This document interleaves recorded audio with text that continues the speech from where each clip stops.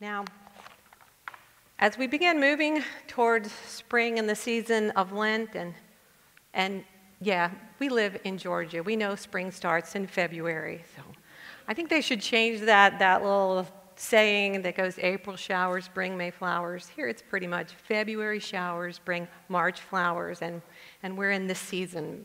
So as we move into spring, we're going to be looking at our faith, at Christianity, hopefully with new eyes, a new perspective. Because whether we've been in this faith journey for a few months or 50 years, it's important to be open to rethinking, re examining, exploring how we came to believe the things that we have believed, and maybe make some space for God to do some new things as we walk into the future together. And I really think this is what our story from Scripture today is all about. Because Jesus is turning everything they thought they knew upside down and inside out. And we don't want to miss it just because we've heard the story before. Now, I, the truth is, I think for all of us, that we remember things differently depending on what age we are, what we're focused on, what's important to us at that time. I remember this um, one movie that I really loved in college, and probably because it was about a group of kids who were deciding what they were going to do with their lives when they graduate from high school. I think it was called Breaking Away. One of the guys was a cyclist and he wanted to go to Europe, so he was studying Italian and he, he tried to speak with Italian accent everywhere he went. And it was, it was funny, and we thought it was a great movie. So, so when my in laws were in town, we took them to see it. Well, it, it turns out that movie had a lot of expletives in it, words that I hadn't even noticed um, and didn't remember because I was so focused on the story and the characters. It just, they went right by me. And my mother in law is not a big fan of four letter words. So this time we sat through the movie cringing as she squirmed a little on the side. And I remember those now. But in life, like watching movies, we remember what we pay attention to, which depends on what is important to us at that time. And the Gospels are kind of like that.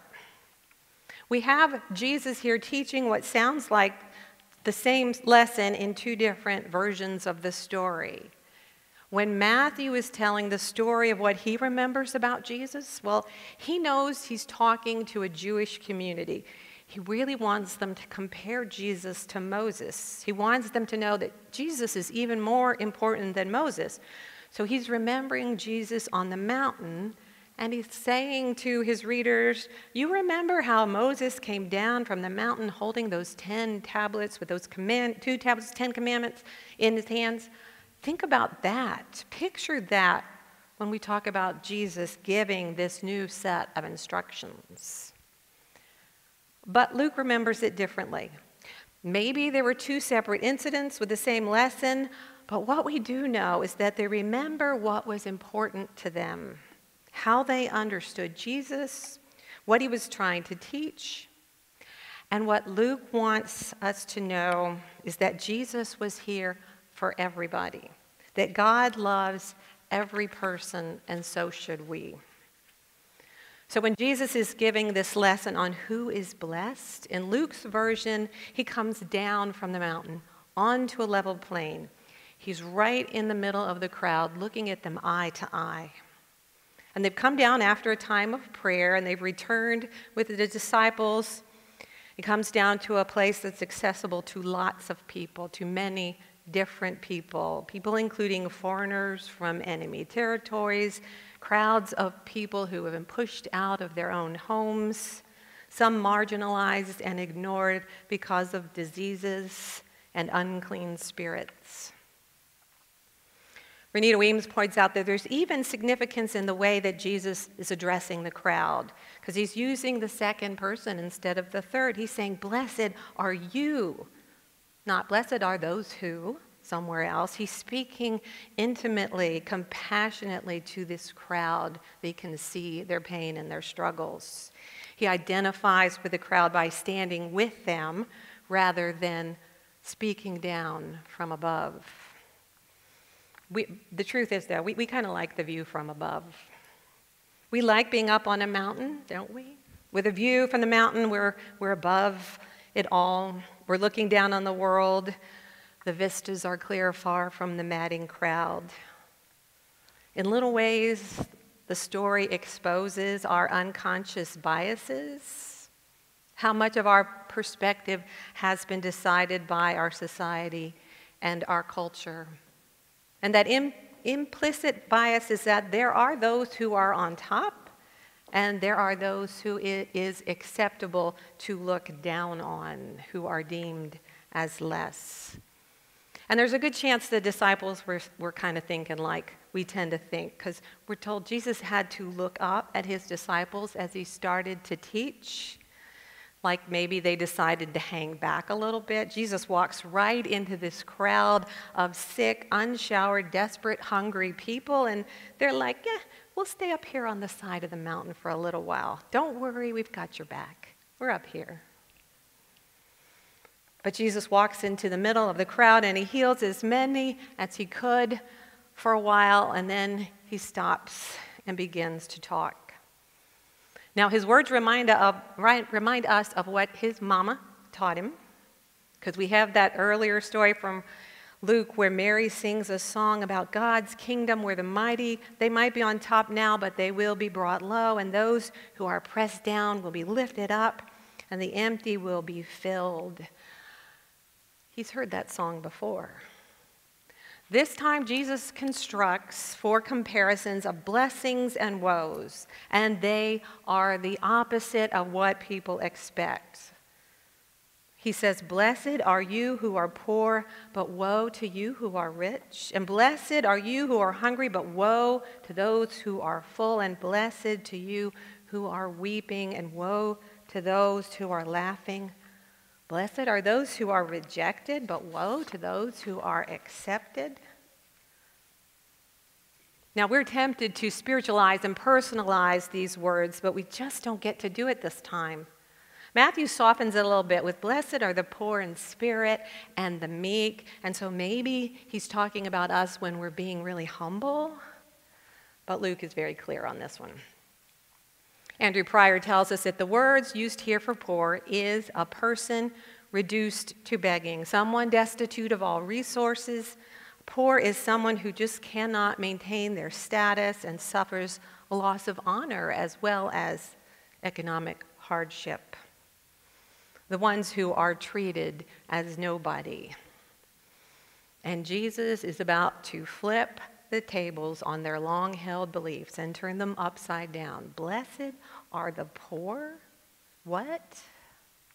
For in the typical Greek understanding, the blessed ones are on a higher level than the rest of the people. They were humans who lived like gods. They were the wealthy, the upper crust, those who had many possessions. And now Jesus is using this word in a totally different way. It's not those elites with their mountaintop houses who are blessed. It's not the rich and the powerful who are blessed. Jesus pronounces God's blessing on the lowly and the poor and the hungry and those who are crying and hated by society. Well, throughout history, it had always been the other way around. It was those who were rich with a full stomachs Jesus turns it upside down. For God notices the poor, values those who struggle through life, loves those who the world wants to pretend don't even exist. Gustavo Gutierrez explains this bias of God. God has a preferential love for the poor, not because they are necessarily better than others or morally or religiously, better, but simply because they are living in an inhumane situation that is contrary to God's will. He explains that to be poor was to be cursed, to be invalid. A word that we still use for the sick, we just changed the pronunciation a little bit. If a person who can't take care of themselves is an invalid, that's only a pronunciation change. But those who are with Jesus in this level place are the invalids, are the ones who were considered not good enough, not strong enough, the losers in the world. And this included people who were troubled with what they called unclean spirits, that description of what we now know is the scarring and trauma that comes from being human.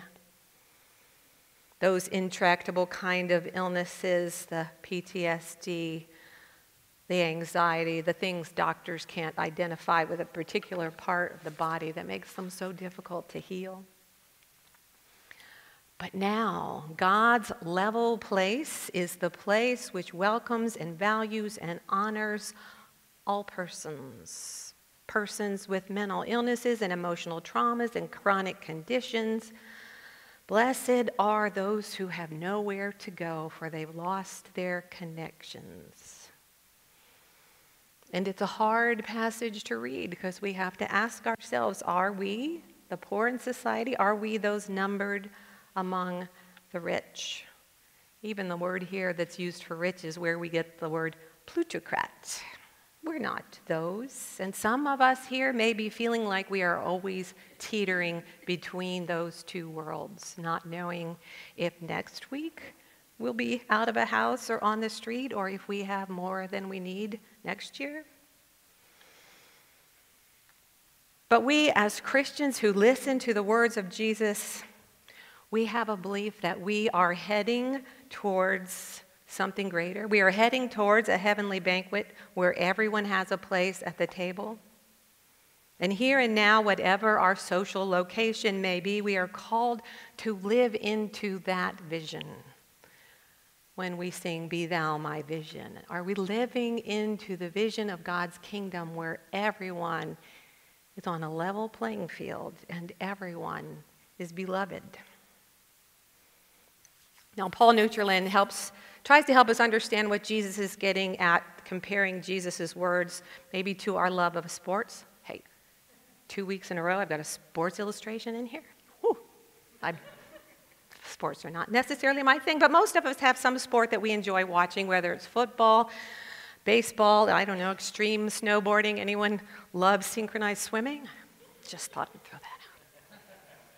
But people love to keep score. Sports are all about keeping score and identifying who's the winner and who's the loser. And, and it's fun to watch if your team wins and by how many points they win and who finishes the season with the most wins or yards or touchdowns or whatever. But this passion for scorekeeping, which is a lot of fun when we're watching or playing sports, goes far beyond the games that we play.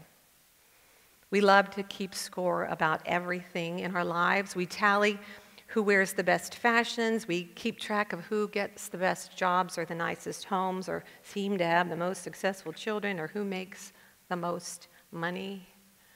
This is a belief system that exist on a global scale with multinational corporations and governments and this is where the poor and the hungry and the mournful and the despised that we see in this morning's story are the ones left out in the cold by all of the wheeling and the dealing of those world's wealthy, those who call the shots in the real life game playing.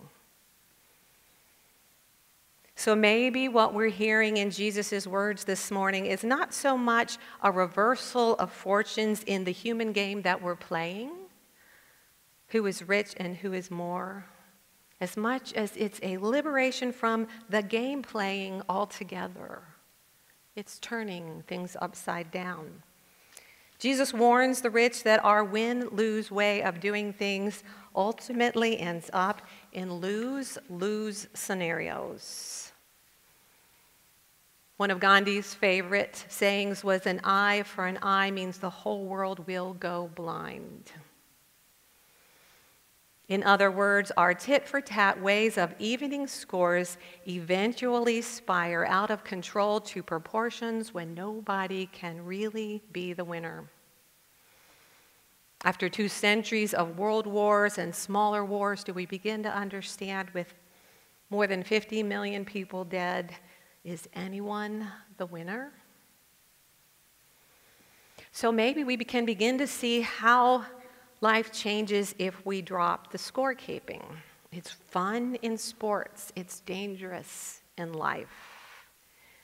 If in following the way where Jesus leads, we come to feel liberated from the games of comparing and clamoring for scarce resources. The words of Jesus can be frightening for those of us who know that we might fit into that next second category.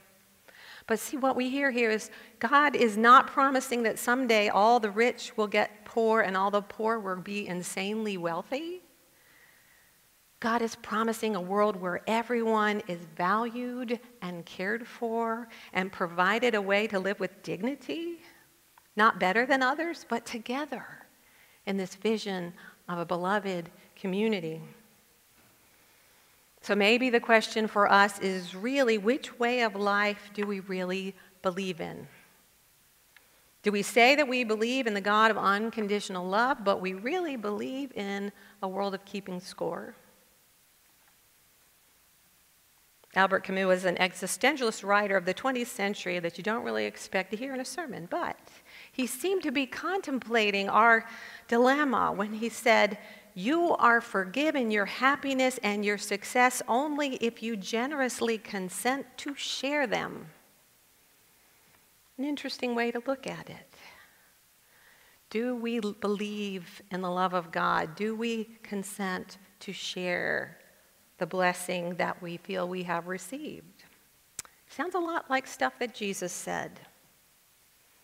The level place is the place where God's vision of equality and compassion is in the process of coming true. And in this community, we pray every week, Thy kingdom come, your will be done on earth as it is in heaven. Jesus calls us not just to give to charity, but to change the game, to level the playing field, to live as if we truly believe that God's beloved community is coming into being right here, right now, in our midst. Do we really believe it?